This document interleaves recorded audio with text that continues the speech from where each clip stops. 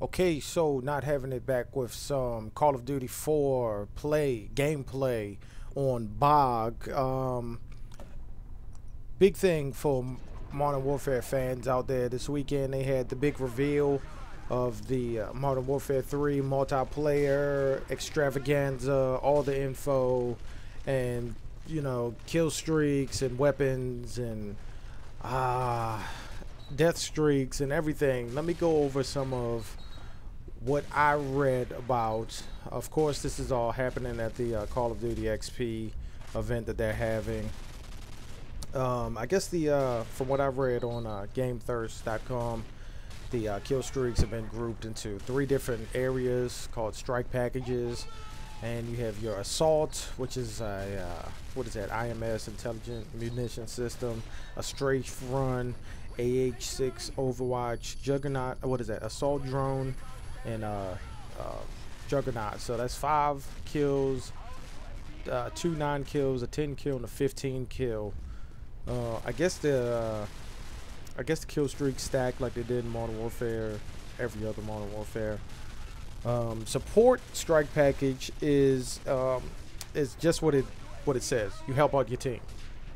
You got uh, two five kills, a 10 kill, 14 kill, and an 18 kill. You have your ballistic vest, uh, airdrop, trap, which I read is that uh, either the airdrop the airdrop supplies and one of them is booby trapped or all of them are booby trapped. Not too sure.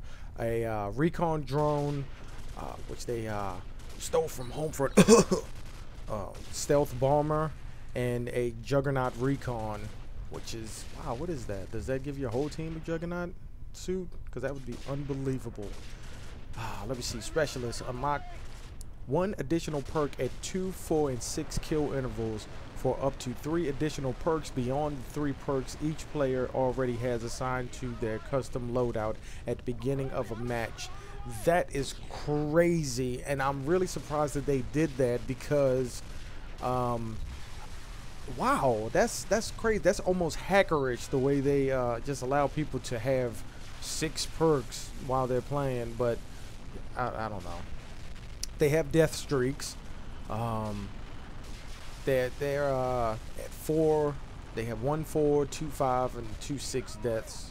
Oh, one six death. Uh, the four the four is uh, juiced. You run faster. Five is revenge. Last person to kill you is visible on radar. It's kind of stupid.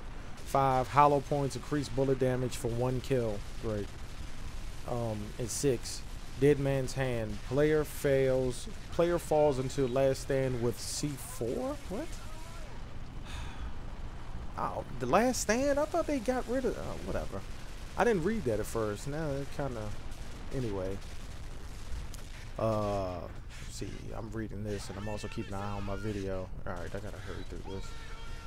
Ah, uh, crap. Where is it? Um... Let me see. Uh, let me go down to the perks. Uh, new perks. Uh, recon, explosive damage, paints the target on the mini map. Uh, blind eye, undetectable by air support slash sentries. Assassin, undetectable by UAV, portable radar, thermal, heartbeat.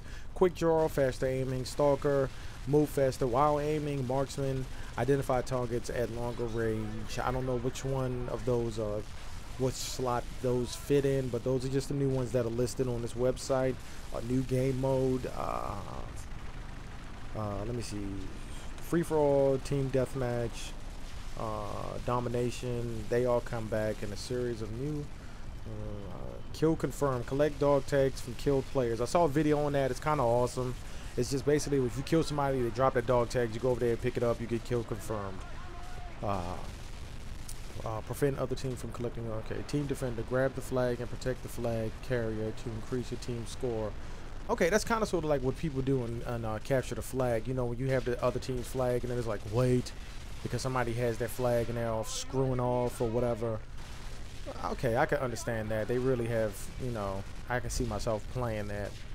Uh, I'm not going to go on the private match. Uh, let me see. Um, customizable multiplayer maps, 16 maps, including the map shown at Call of Duty XP, Resistance Dome, Underground Village, Art Arkaden. Okay, dedicated servers. Modern Warfare 3 will support dedicated servers on day one. Players will be able to browse, filter, favorite, and join Call of Duty Modern Warfare 3 dedicated servers of their choice. Players will be able to set up their own server and administer. That's pretty awesome. Okay, cool. Uh, I saw a video for Spec Ops. It's pretty awesome. Um, I'm gonna end up playing it. I'm gonna try it out. I'm really excited for this game. The whole game of the look, it looks like they co they combined uh, some aspects from Modern Warfare 2 and the uh, Call of Duty 4, and they put it together, and it looks like it's going to be well. After seeing all the videos of reading all the information, I can definitely say that I'm more excited about this game. Uh, unfortunately, this gameplay is over. I'll put the link to this article in the description. Uh, like, comment, subscribe, spread the word. Uh, thanks for all the support, guys. I'm not having it. And I'm out.